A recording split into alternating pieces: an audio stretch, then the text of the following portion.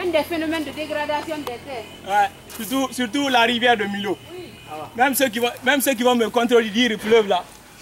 Toi, moi je Ah, dis il faut là-bas maintenant, monsieur. C'est bon. Ok.